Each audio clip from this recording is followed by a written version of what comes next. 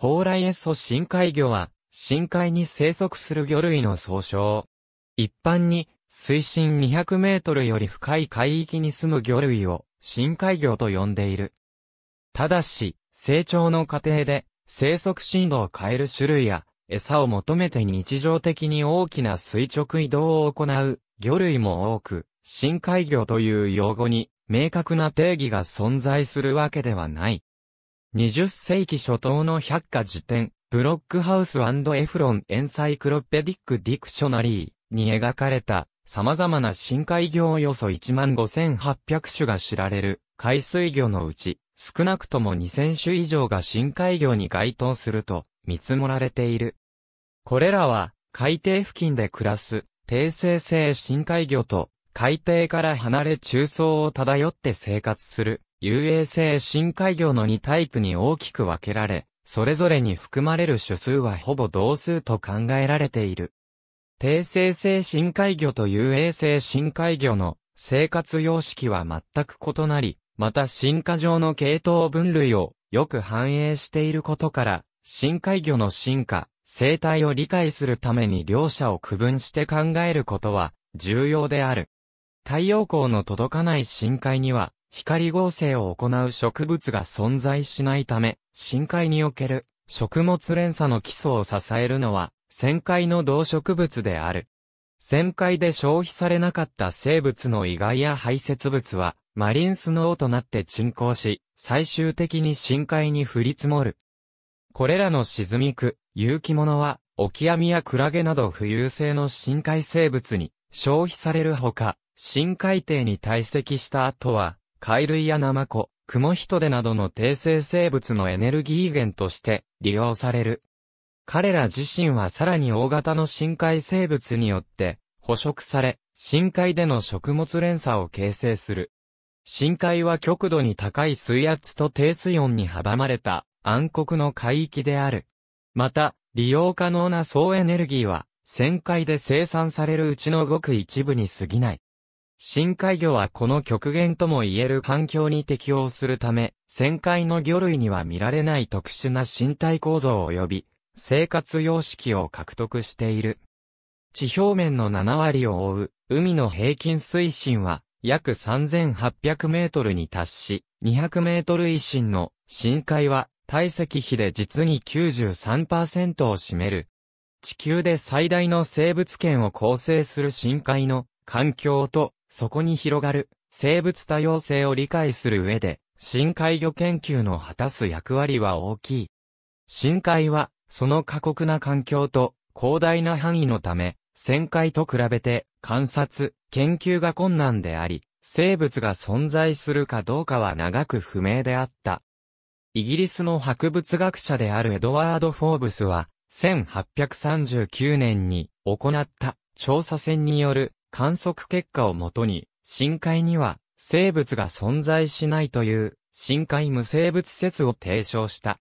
しかし、その後の底引き網や海底ケーブルを用いた各国の調査により、深海から相次いで生物が採取され、この説はすぐに否定されることになる。深海生物の存在を決定的に証明したのは、1872年から1876年にかけて行われた英国海軍のチャレンジャー号による大規模な世界一周探検航海である。この航海がもたらした膨大な海洋学的研究成果をきっかけとして各国の海洋調査は本格化し、深海魚研究の歴史も幕を開けた。トリエステ号内部のジャック・ピカールとドン・ウォルシュ生身の人間が直接大深度に先行することはできないため、深海探査には常に困難がつきまとう。漁網中に混獲されたり、海岸に打ち上げられたりした深海魚の時として貴重な標本となったが、彼らが実際に生きている姿を伝える情報は損なわれていることが多かった。19世紀後半以降、ワイヤーロープや底引き網の改良により、大深度からの標本採取が可能になったものの、深海魚を直接観察することは依然容易ではなかった。兵器としての潜水艦は、第一次世界大戦時にはすでに実用化されていた。一方で、学術目的での潜水機器開発は遅れていたので、ある。1928年、友人の潜水球が開発され、ようやく深海魚の観察が可能になった。バチスフェアは、無動力ではあったが、深度923メートルまでの潜水に成功している。そして1948年、オーギュスト・ピカールにより自前の動力を有した深海探査艇、バチスカーフが建造された。バチスカーフは、複数の後継機が作られ、深海魚の生態観察や大深度での標本採集に強力な手段を提供した。20世紀後半から現代にかけては、日本の深海6500、ロシアのミル、フランスのノティール及び、アメリカのアルビン号などによる調査を通じ、深海魚の生活様式、環境への適用についての情報が蓄積されつつある。1960年、バチスカーフの後継機の一つであるアメリカのトリエステ号が、当時すでに世界最新地点として知られていたマリアナ海溝のチャレンジャー海淵を目指して、友人選考を行った。乗船していたジャック・ピカールは、到達した最新地点で、下ビラメに似たカレーの一種を目撃したと報告した。一方、日本の無人探査艇、海溝が1998年に行った調査では、同地点で魚類を確認することはできなかった。21世紀初頭時点では、ピカールによる目撃報告は疑問視され、ナマコの一種を見間違えたのではないかと考える研究者もいる。日本の NHK が海洋研究開発機構のチャレンジャー海淵調査について2017年8月27日に放映したテレビ番組ディープオーシャン超深海地球最新への挑戦によるとチャレンジャー海淵の底ではナマコ類やエビ類は撮影されたものの、魚類は映っていなかった。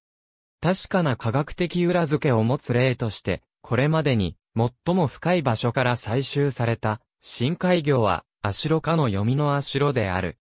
デンマークの調査隊がプエルトリコ海溝の水深8372メートルから本種を引き上げたのは1952年のことで、学名には当時の調査船ガラテア号の名前が冠されている。他に、クサウオ科の深海クサウオ及びアシロ科の底坊主が7000メートル維新で観察されている。海洋研究開発機構の調査船、海嶺の危機が2017年5月、マリアナ海溝の水深8178メートルにおいて、深海クサウオの採事行動の撮影に成功した。2017年8月時点で、これが生きた魚類の映像の最新記録である。深海から引き上げられた胸だら。急激な減圧によって膨張した内臓が、高校内に突出している。深海魚が獲得した低水温、高圧力環境への適応能力を解析するためには、できるだけサンプルを生きたまま捕獲し、地上の研究施設で長期間飼育できることが望ましい。捕食や産卵のために旋回に移動する種類は、通常のアクアリウム設備でもある程度の飼育が可能であるが、実際の生育環境における振る舞いが再現される保証はない。しかし、深海魚を生態のまま捕獲することには実際上の多くの困難がある。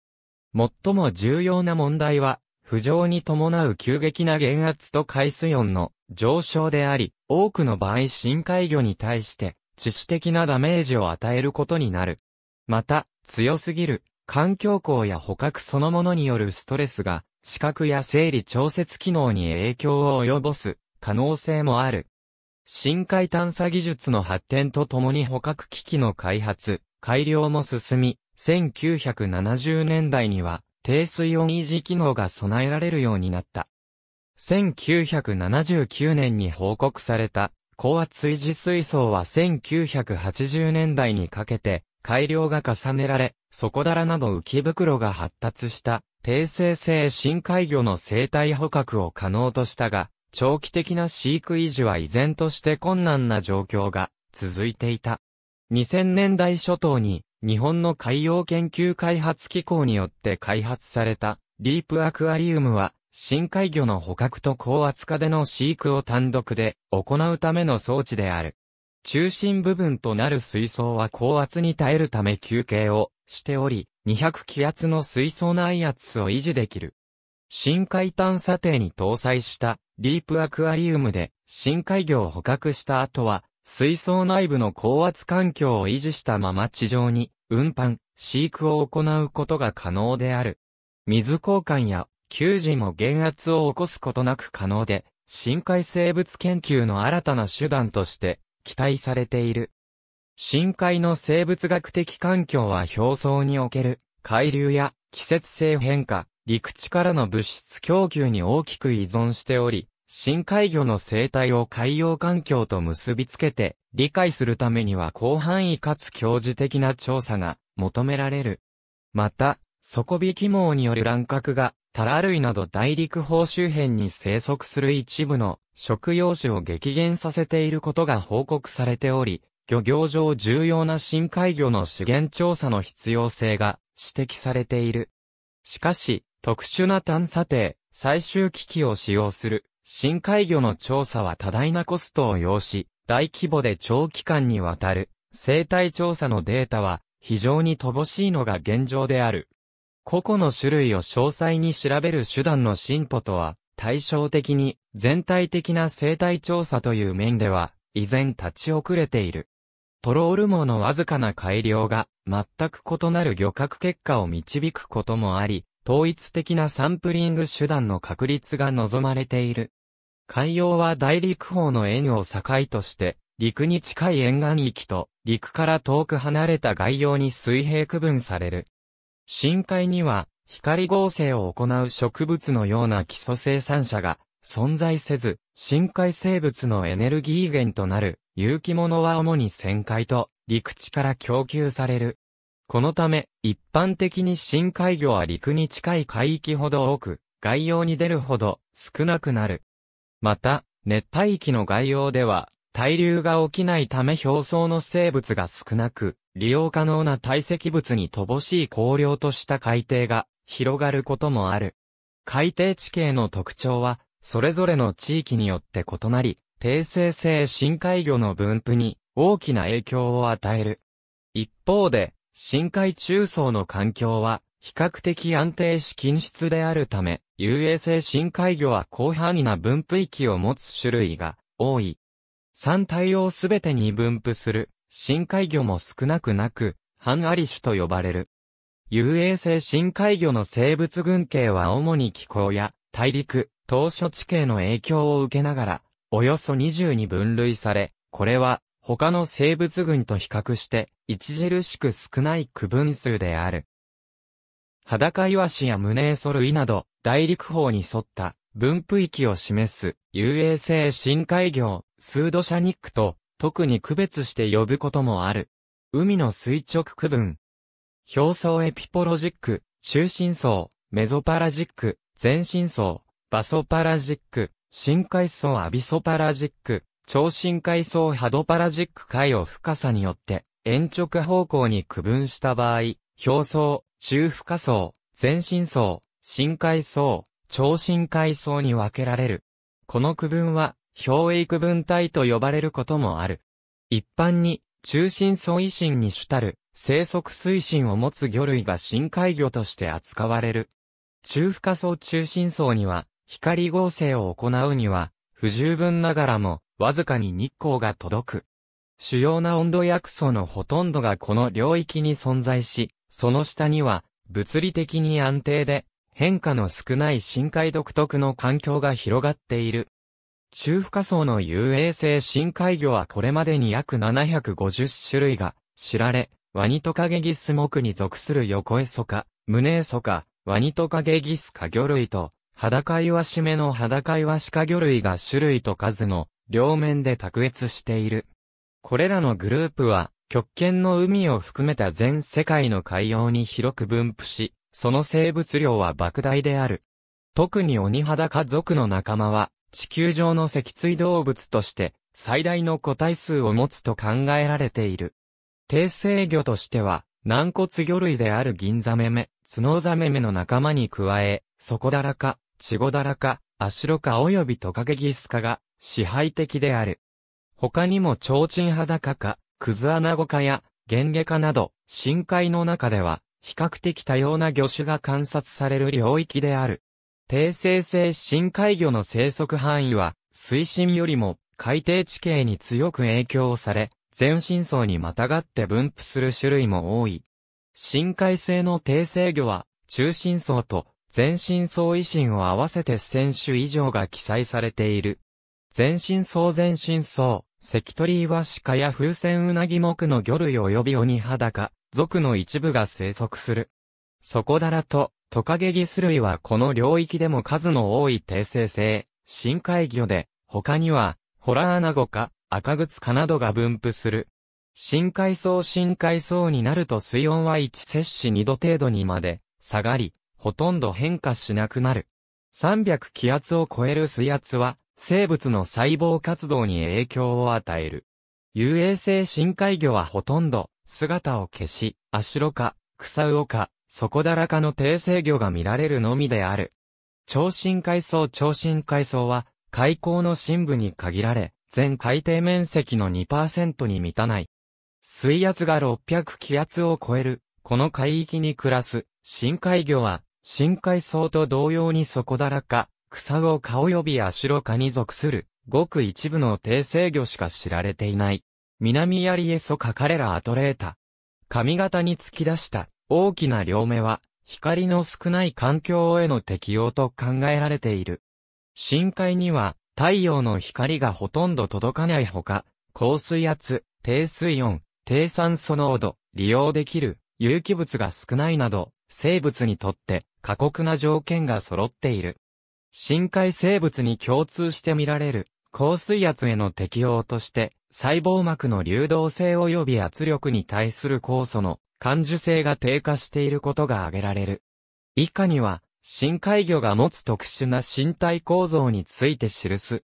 魚類の体中に含まれる、タンパク質や骨格の比重は、通常は、海水より大きい。深海魚は、遊泳に伴う揚力や浮き袋への吸気で浮力を得ているが、利用可能なエネルギーに乏しい深海では、深海魚は極力遊泳せずに浮力を確保する必要がある。多くの深海魚では骨、軟骨及び筋肉など、体内の高密度組織が減少しており、代わりに低比重の水分と脂肪分を多量に含んでいる。腹気とその支持骨格、あるいは頭部の骨格を退縮させたものや、鱗、トゲ状を持たない種類も多く、軽量化に向けた一つの手段と見られている。浮袋は、旋回魚が浮力を得る一般的な手段であるが、深海では極度の高水圧のため、通常のガス交換による浮袋の機能には期待できない。高水圧と急激な圧力変化に耐えるため、深海魚には浮袋の壁を頑丈なグアニン結晶で覆う、あるいは内容物を気体ではなく、脂肪やワックスに置換するなどの適用が見られる。特に裸岩種類のように餌を求めて深海と浅海を往復する習性を持つ深海魚は毎日数百気圧に及ぶ圧力変化を受けることになる。彼らは遊泳性深海魚の中では比較的発達した浮袋を持ち、肝は、深海魚に比べ非常に長く、一部の種類では中身を脂肪で満たしている。深度が大きくなるに従って、高水圧に逆らいガス交換を行うことへの負担も増大する。中負荷層遊泳性の深海魚では、浮袋は一般に対価的であり、さらに深度を増した全深層では浮袋を持たない種類が多い。一方で、低生成魚類は、海底付近からあまり離れず急激な圧力変化を受けないためか、大深度でもよく発達した浮き袋を持つ場合がある。トガリムネーソアルギリペリカスアキュリアティス。上向きの環状岩と、著しく側平たした平べったい体を持つ。透明度にもよるが、水深1000メートル程度まではかろうじて太陽光が届くため、この領域に住む深海魚には体に対して非常に大きな眼球を持つ者がいる。さらにデメエソカ、胸エソカ、横エソカ魚類など少なくとも11科の深海魚は、目を感情に変形させた感情眼を持つ。深海に達する光は産卵と屈折のため、太陽の位置に関係なく、常に真上から降り注ぎ、日没まで、光量の変化も少ない。望遠魚科など一部の例外を除き、ほとんどの感情眼は真上を向いており、海面方向からの光に対応している。なお、同様に暗黒条件下のホラー穴生物では、深海魚とは対照的に目が退化した例が多い。深海魚の場合、ホラー穴とは異なりわずかながら、光が差し込むこと、種によっては旋回への移動があること、発光生物が多いことが影響をしていると考えられる。1000メートル維新の全身層は、光が全く届かない暗黒の世界で、この領域には落ちくぼんだ、小さな目を持つ、深海魚が多い。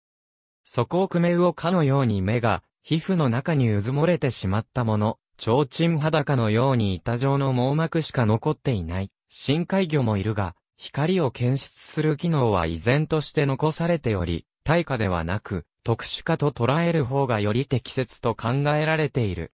全身層においてまばらに明滅する生物発光を捉えるためには、先細りの小さな眼球の方が適しているという報告もある。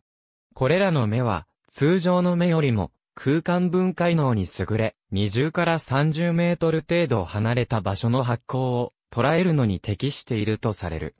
遊泳力の低い深海魚にとって視野を比較的狭い範囲に限定することは、エネルギー効率の面で合理的である。フクロウナギユーリファリンクスペレカノイです。非常に大きな口を持つ深海魚として知られ、世界中の温暖な海の深海で比較的普通に見られる。自分よりも大きな獲物を飲み込んだオニボーズギスチャイアズマドン、ニジェール魚食性の遊泳性深海魚には体のサイズと比較してかなり大きな口や歯を備えたものが多い。並外れた大きな口の持ち主として、風船うなぎ目に属する風船うなぎ袋うなぎの仲間が特に知られている。彼らは一見すると頭が異常に大きいように見えるが、頭蓋骨は小さく、大きな口は極端に発達した顎の骨に支えられている。風船うなぎが鋭い歯を持ち大型の獲物を飲み込むのに対し、袋うなぎの顎には歯がほとんどなく、小型の魚やプランクトンをかき集めて食べている。発達した歯列も、また魚食性深海魚の特徴であり、鬼金目など、鋭い牙状の歯を持つももいる。ワニトカゲギスチョウチンアンコウ類の一部には、内側に折れ曲がった歯を持つものがあり、捉えた獲物を逃しにくい構造になっている。提灯アンコウ類や黒坊主ギス科の魚など、食道や胃を大きく拡張させることのできる深海魚もいる。オニボウズギスは自分の何倍もある獲物を飲み込むことが可能で、腹部を異常に膨らませた状態で捕獲されることがある。また、メラニンなどの色素沈着によって黒色化した腸管を持つ深海魚も珍しくない。発光生物を捕食した際に、消化管を透過した光が外敵を誘引することを回避しているものとみられる。継続的な捕食を行うことが難しい深海の環境では、エネルギーを効率的に蓄えることが課題となる。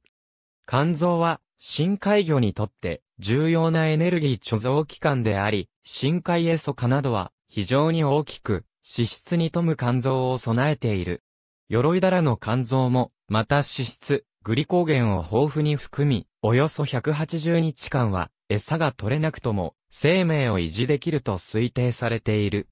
脂質は、海水よりも比重が小さいため、肝臓に多量に脂肪分を蓄えることは、浮力の確保にも貢献する。アイザメか、カラスザメかなど、浮き袋を持たない、深海性の軟骨魚類には、時に体重の25%にも及ぶ巨大な肝臓を持つものがある。赤クジラオダマシバーバージやルーフ。鮮やかな紅色の体色、発達した側線と小さな目が、クジラオ類の特徴。深海の中では、比較的明るい中深層に住む魚類では、体表面の銀化による擬態が見られる。胸エソの仲間は、厚さ数ミリの平べったい体を持ち、表面はアルミホイルのような光沢のある銀色を呈している。彼らの体表面にはグアニンによる微小な反射性結晶が何層にもわたり、規則的に並んでおり、鏡のように光を反射して捕食者に、自らの姿を認識されないようにしている。胸エソ類の一部は夜間には、反射効率を低下させ、生物発光の反射による、発見の危険性を減らすことができる。水深600メートル付近から、深海魚の体色は、銀白色から鉛色へと急速に変化し、1000メートルの全身層に達すると、ほぼ均一に暗色となる。クジラウオ類の多くは、鮮やかな赤い体色をしているが、青い波長の光しか届かない深海においては、黒色同様、ほとんど目立たないと考えられる。アンコウメ魚類の背びれの第一トゲ状は、釣り竿状に変形しており、誘引突起と呼ばれる。誘引突起の先端にある棒状に棒化した部分を疑似状態と呼び、アンコウ類は疑似状態を餌のように動かして獲物をおびき寄せる。全身層有衛星の提灯暗工場化の仲間では、疑似状態が強制発光器官として機能することも多い。また、オニアンコ科の深海魚は複雑に分岐した顎ひげのような構造を持ち、やはり餌の誘引に用いると考えられている。生物発光は発光基質と発光酵素の化学反応によって起こる発光現象で多くの深海生物が持つ重要な特徴の一つである。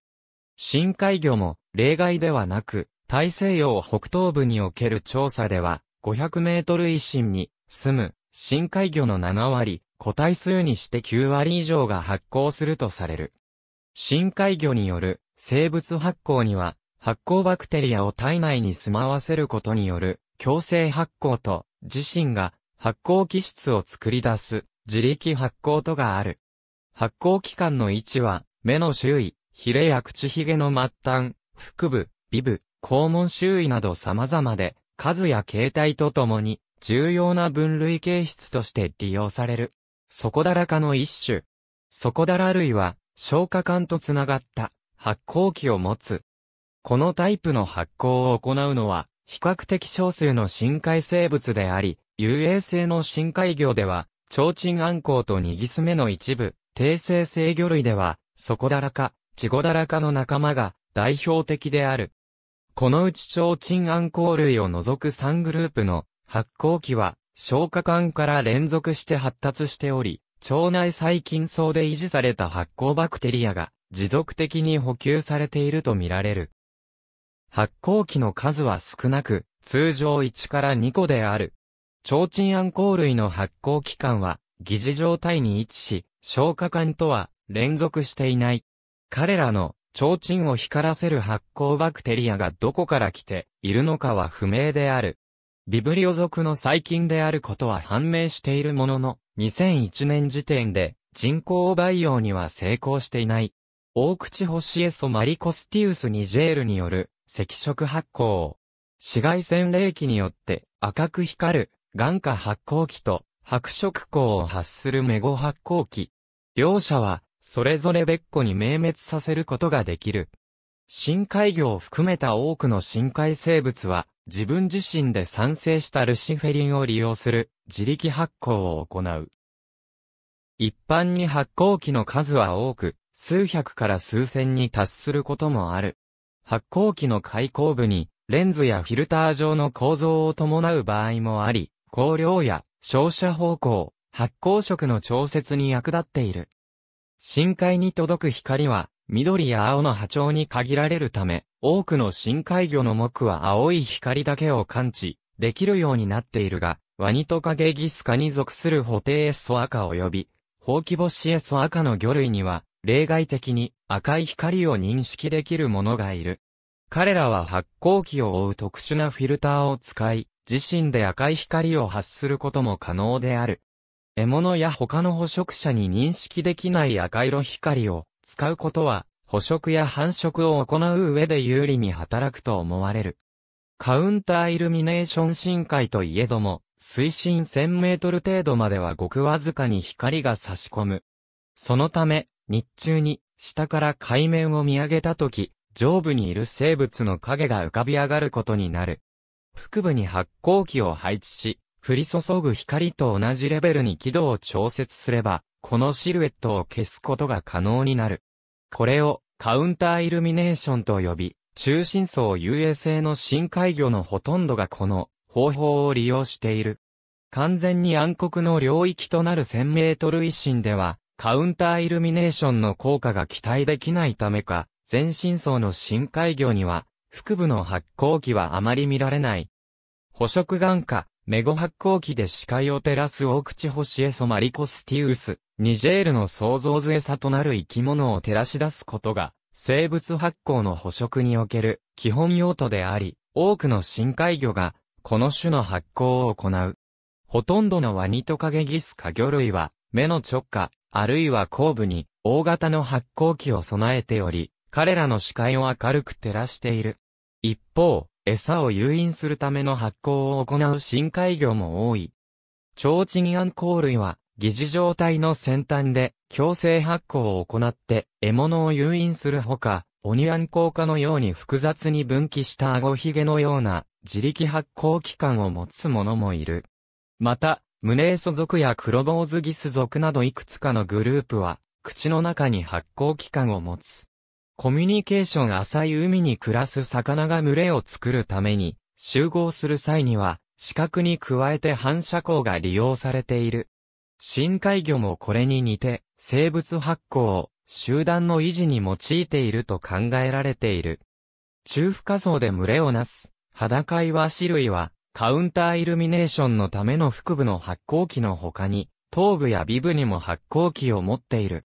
発光器のサイズ、位置、数は、オスとメスで異なる、性的二なりを示し、両性のコミュニケーションに使用されている可能性がある。ワニトカゲギス類のメゴ発光器も、メスよりもオスの方が大きいことが多い。防衛、ワニトカゲギス科に属する一部の深海魚は、防御的な強い閃光を発することができる。非常に明るい光を出すことによって、捕食者を気絶させることさえある。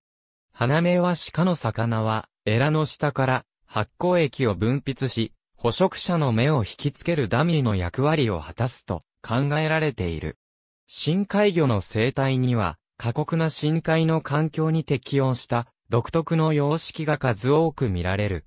深海の生物密度は、浅海と比べて極端に低く、個体を維持するための捕食行動を効率よく行うこと、それと同時に余分なエネルギー消費を最低限に抑えることが求められる。また、生息範囲と個体数の問題から、深海では、オスとメスとの繁殖の機会が非常に少ない。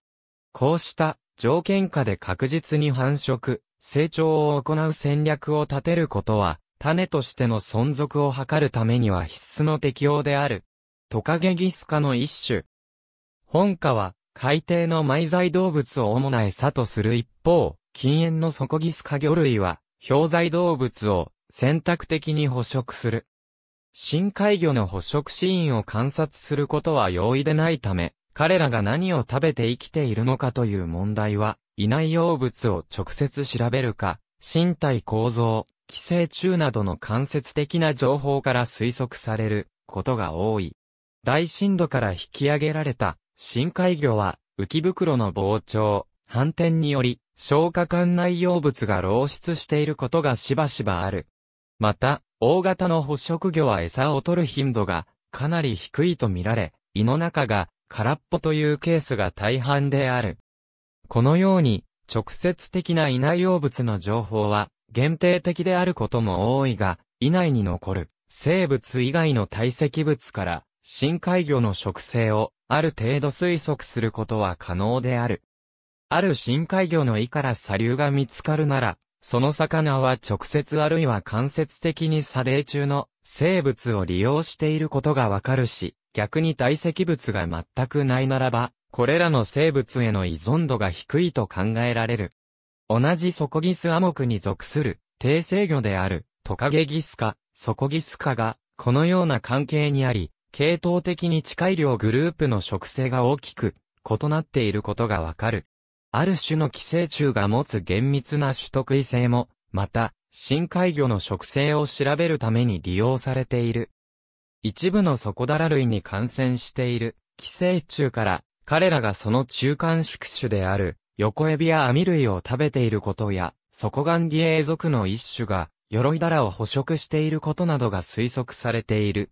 小型の遊泳性深海魚には、動物プランクトンを主食とするものが、最も多い。クラゲサルパ類は、深海で比較的豊富に存在する生物群であるが、これらのゼラチン質生物を主食とする深海魚は少なく、関取イワシか、デメニギスカ及び底イワシかなどごく一部に限られる。栄養価の低さから避けられているのか、速やかに消化されてしまい、単に内容物として認識されないためかは、不明である。クラゲ類を染色する、深海魚の高校及び食道は、厚い結合組織に覆われており、四方毒による障害から身を守っている。中体大型の遊泳性深海魚は、ワニトカゲギス類をはじめとして、魚食性の種類が多く、数の豊富な裸岩種類が重要な餌生物となっている。海底に沈降した大型生物の死骸も、また、深海生物の重要な食料となる。無学類に所属する、ヌタウナギ科の仲間や、ホラアナゴ科の混合アナゴは、こうした遺骸を染色する不肉食性の深海魚である。死体に集まる横エビ類を狙うことで、間接的に生物以外を利用するものも多く、ソコウクメウオカヤクサウオカ、ゲンゲ科の一部などが知られている。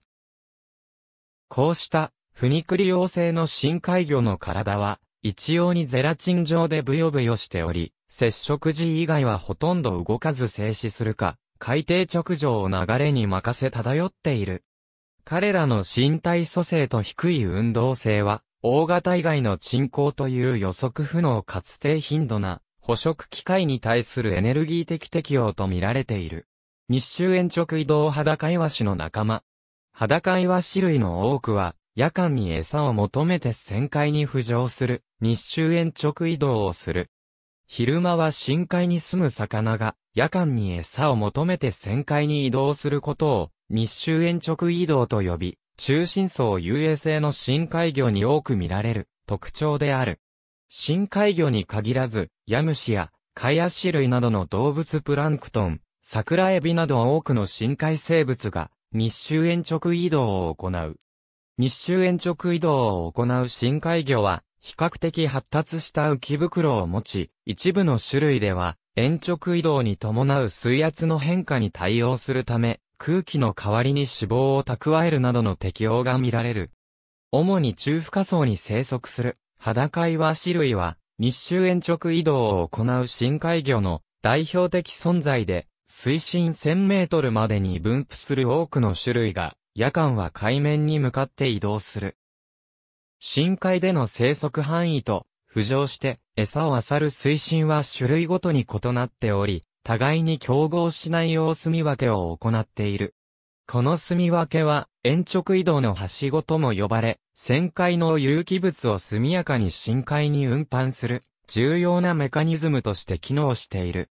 低生性深海魚のいないようものからもしばしば、遊泳性魚類が見出されることから、これらの深海魚も中層に餌を求めて、延直移動を行うと考える研究者もいる。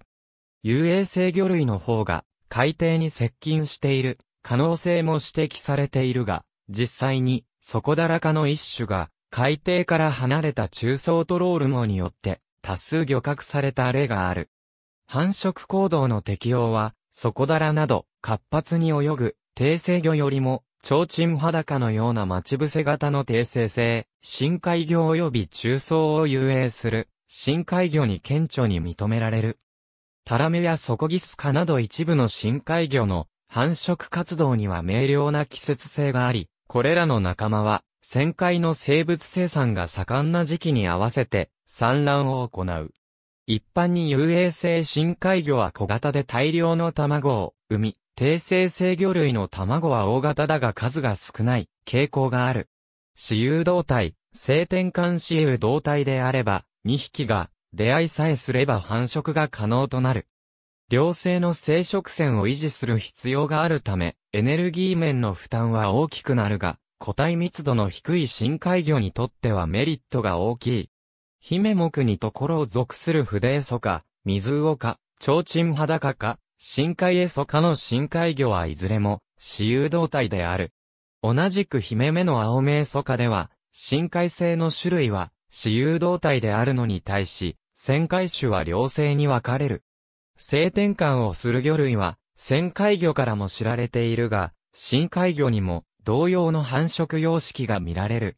旋海魚では、メスからオスに性転換する姿勢戦熟が多いのに対し、深海魚では、鬼裸族や横エソ族など、オスからメスに性転換をする有性戦熟がしばしば見られる。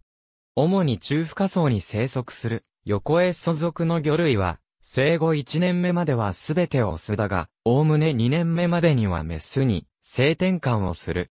このような有性戦熟は、旋海魚では、熊の実などに見られる。オスが縄張りやハーレムを形成する魚種では、オスが大型化する、姿勢戦熟が有利であるが、個体群密度が非常に小さい深海においては、このような行動様式を取ることは難しい。一般に、精子よりも卵を作る方が多くのエネルギーを必要とすることから、深海魚にとっては、有性戦熟による繁殖が有利になると考えられている。ワイユーオニアンコウ科の一種。3匹のオスが腹部に食いつき一体化している。ワイユーとはメスに比べて極端に小さなオスのことで、特に提灯アンコウ状化に多く見られる。提灯アンコウ類のオスは、メスの3分の1から13分の1程度にしか成長しない。ミツクリエナガチョウチンアンコウ科、オニアンコウ科など少なくとも4科のワイユーはメスに寄生する習性を持ち、当初は自由生活を送っているオスは、メスを見つけると腹部に食いつき一体化する。オスは、その後、栄養をメスの皮膚から伸びた血管を通じて得るようになる。自力で泳ぐ必要がないためオスの目やヒレは、次第に退縮する一方、生殖に必要な清掃の機能は保持されている。メスと YU の結合が互いの生成熟を達成するための必要条件になっている場合もある。YU を持つ他の深海魚としては、三つ股ヤリウオ族と鬼裸族の一部、及びクジラウオ科の仲間が知られ、いずれもメスへの寄生はしない。三つ股ヤリウオは50センチほどに成長するメスに、対して、オスは5センチ程度にしかならず、歯と消化器官は貧弱で自力で餌を取ることは、ほとんどできない。眼下発光器と清掃は発達していることから、普段はエネルギー消費を抑えて浮遊しており、発光でメスを呼び寄せるものと考えられる。このようにメスではなく、オスが小型化するのは、上述の性転換の場合と同様で、繁殖には、メスの方が多大なエネルギーを要することが理由となっている。Y ユはメスを求めて比較的長い距離を遊泳する必要があるため、持久力の高いいわゆる赤身の筋繊維が発達している。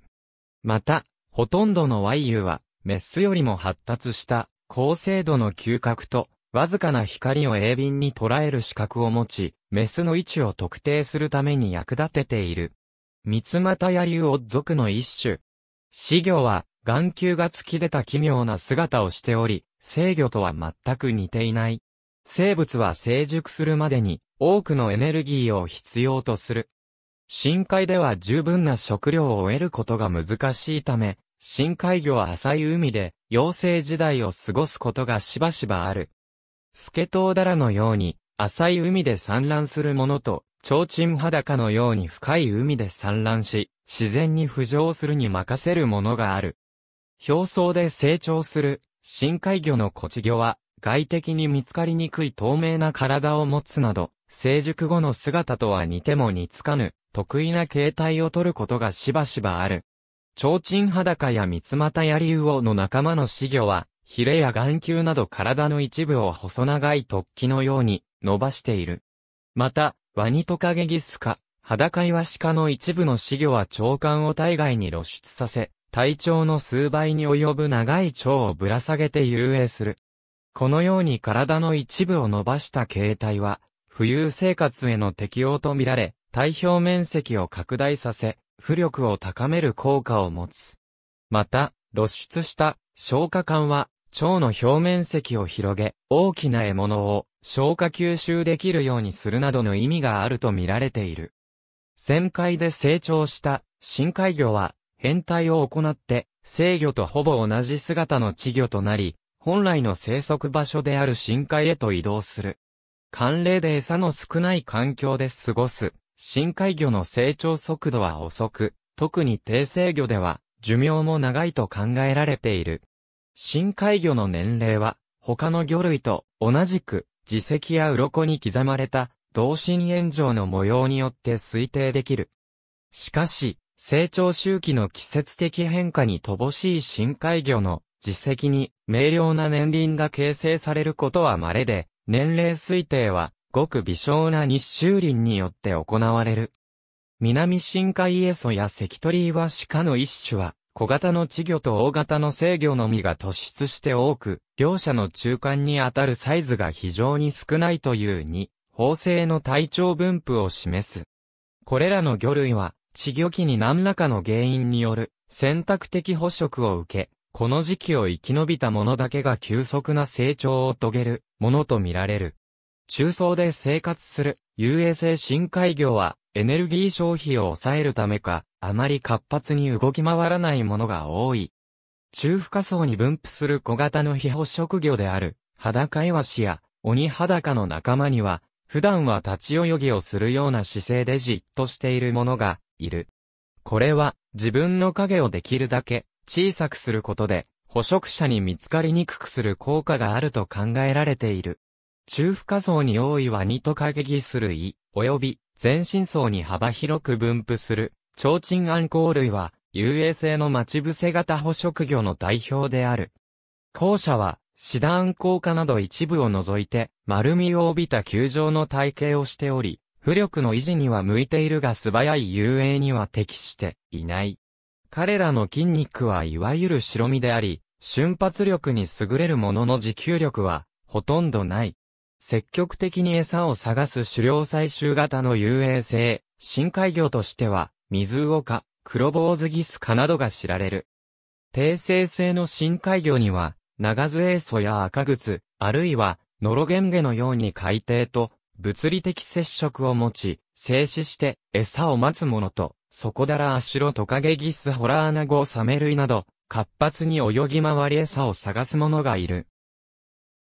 待ち伏せ型の低生魚は一般に筋組織の発達した体格を持ち、浮き袋を描くことが多い。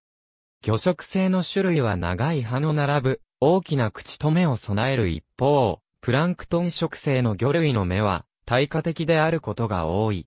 砂地の海底で、腹びれや胸びれを使って体を支え、近くに来た獲物を瞬間的な動作で捉え丸飲みにする。深海エソなど、対比重の大きい低生性深海魚は、海底から50センチ以上離れることは、稀と考えられている。大型の獲物を捕食する、待ち伏せ型深海魚は、その大きな目を効率的に利用できる、大陸斜面上部から中部にかけて分布することが多い。活発に泳ぎ餌を探す狩猟採集型は、低生性深海魚としてはより一般的な行動様式であり、そこだらか、アシュロー科などは、種類も数も豊富で、あらゆる深度で観察される。彼らはよく発達した機能的な浮き袋と規定の長い背びれ、尻びれを持ち、海底スレスレをホバリングするように泳ぐことが可能となっている。視覚への依存は、概して低く、獲物の探索は、嗅覚と側線が主に利用されている。竜宮の使いのような深海魚が海岸に打ち上げられたり、浅い海域で漁獲、目撃されたりすると、地震の前兆ではないかと騒がれることがある。東海大学の折原義明特任准教授らの研究チームが1992年から2011年3月11日にかけての深海魚目撃情報101件と、この期間に起きたマグニチュード6以上の地震161件を照合した結果、時期、場所の一致は少なく、地震予知による防災、減災には役立たないとする見解を2017年にまとめた。バラムツルベタスプリティアッサス。スポーツフィッシングの対象になる大型魚。体にワックス分を多量に含み、日本では食用としての販売が禁じられている。日常生活とは縁遠い印象がある深海魚だが、食用とされる種類は多い。アンコウタチウオムツキンメダイスケトウダラオヒョウ、ハタハタなどは、いずれも、水深数百メートルの深海域に生息する。漁獲対象となる有用種はツノザメメ、エーメ、タラメ、キンメダイメ、カレーメ、スズキメなど、ほとんどの場合低生性の深海魚である。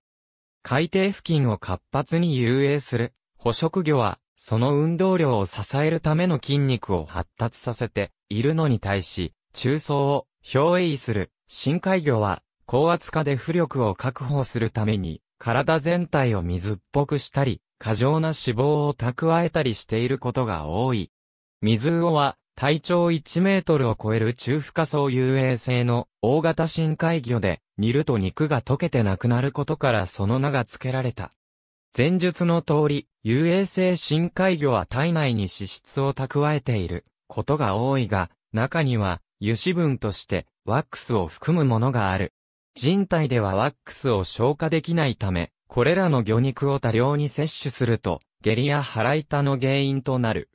ワックス分が特に多い黒立ちカマスカのバラムツと油底ムツは、日本では食品衛生法によって販売が禁止されている。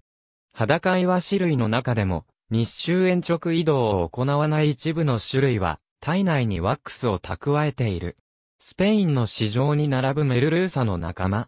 ヘイクと総称されるメルルーサ科の深海魚は、食用魚としての消費が急増している。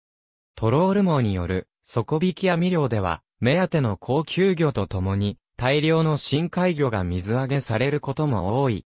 連製品として利用される一部の低生魚を除き、従来は市場価値がないことから廃棄されていた深海魚も地産地消の一環として、各地で食用化が進められている。例えば、駿河湾北東部は、海岸近くから急激に深くなるため、ここに面する静岡県沼津市の沼津港や戸田漁港などには、様々な深海魚が水揚げされる。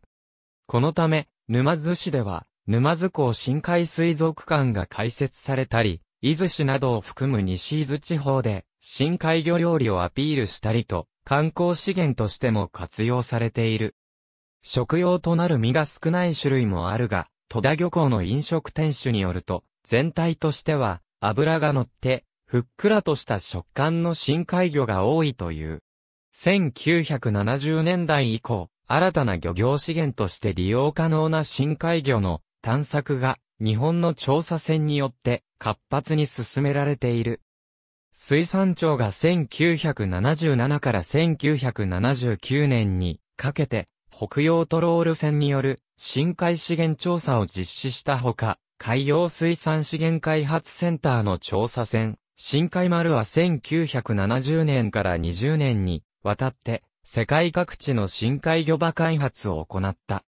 これらの調査の結果見出されたメルルーサマジェランアイナメなど多くの有用魚種が輸入食用魚として一般に利用されるようになっている。深海2000などの潜水調査船もまた、吉地ハタハタなど深海性水産魚種の資源量調査や生態解明に携わっている。以上のようなトロール船調査によって開発された深海魚の多くは低生魚である。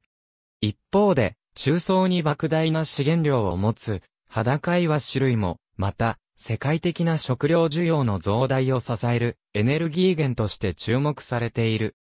裸イワシの仲間は過剰脂質のため食用には向かないと考えられてきたが、多くの種類では一般的な食用魚種と変わらない脂質組成を持つことが報告されている。中深層遊泳性深海魚の総生物量は少なくとも9.5億トンに上ると見積もられており、これらの豊富な未利用資源を活用する方法が探られている。深海魚の資源開発と利用が進められる一方で、深海漁業の大規模化に伴う乱獲が大きな問題となっている。著しい低水温にさらされる深海魚の成長は一般的に遅く、特に低生性の中、大型種ではその傾向が顕著である。私有の接触が少なく繁殖機会が限られるという問題もあり、資源回復量を上回る勢いでの乱獲は、最悪の場合には絶滅の危機をもたらす。2006年には、大西洋北西部における、タラ類の急速な減少が報告され、国際連合食糧農業機関は、漁業国に対し資源保護に向けた適切な管理を求めている。魚類の深海への進出が始まったのは、いつ頃か、はっきりしたことは分かっていない。深海は極めて安定した環境であり、少なくとも新骨類の著しい多様化が起きた中世大白亜紀より前には、すでに魚類は深海の住人になっていたと見られている。古生代石炭気候期の地層から出土したヌタウナギ科の唯一の化石種は多くの点で原生種と変わらない形態を有していたが、その眼球は現存するヌタウナギ類とは異なる機能的なものであった。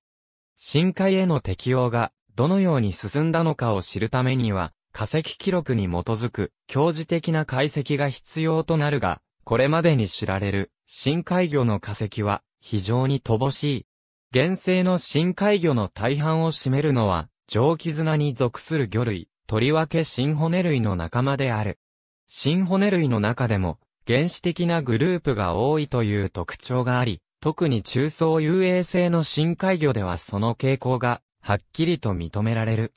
より進化の進んだ、高位群である鈴木目は、現代の旋回で、最も繁栄するグループであるが、含まれる、深海魚の割合は、著しく少ない。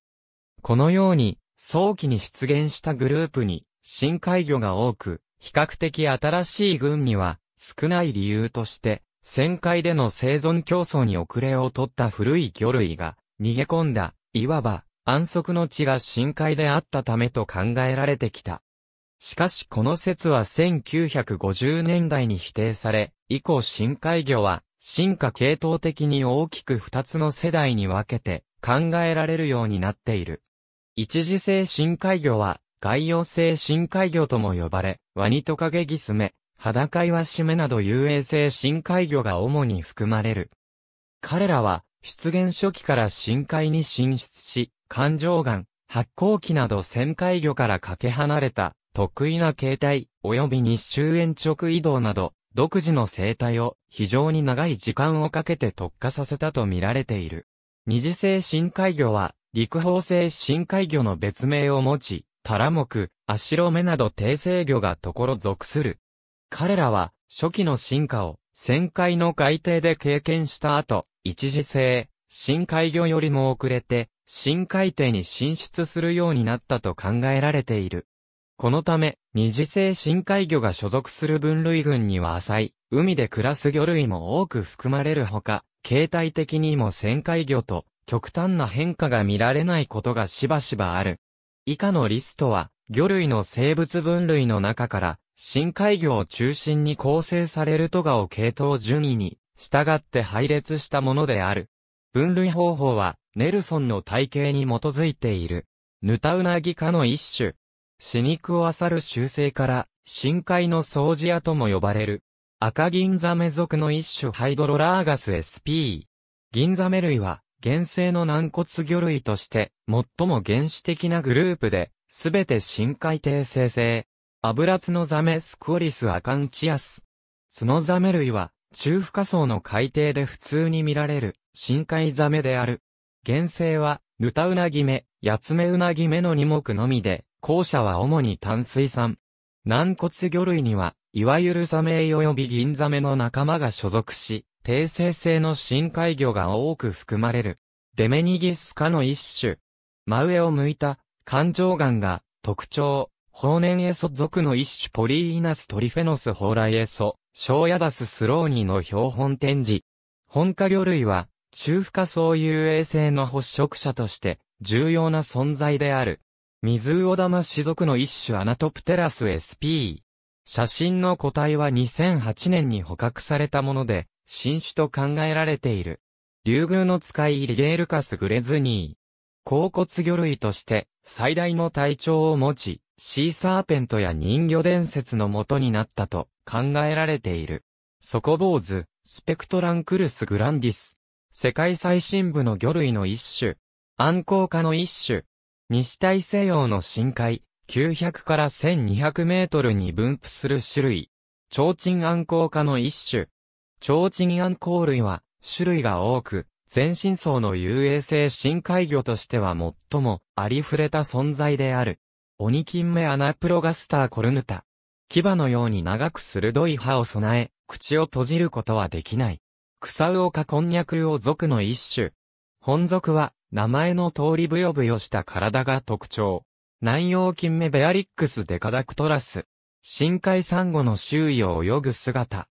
本科魚類は、世界各地で食用魚として利用される。イレズミコンニャクアジ Icosteus aenigmaticus。若魚は特徴的なまだら模様と腹びれを持つが、成魚ではいずれも消失する。生態には謎が多く、本種のみで独立の目とされたこともあるなど、議論の多い深海魚の一つである。シーラカンス科の一種。インドネシアで発見された本種は、1999年に新種として記載された。長期綱には、原生の甲骨魚類のほとんどが含まれ、所属する約40目のうち半数は深海への適応が見られる。肉絆に属し、獅子動物の祖先と考えられている一群。原生種を含むのは、廃魚類とシーラカンス類のみ。ありがとうございます。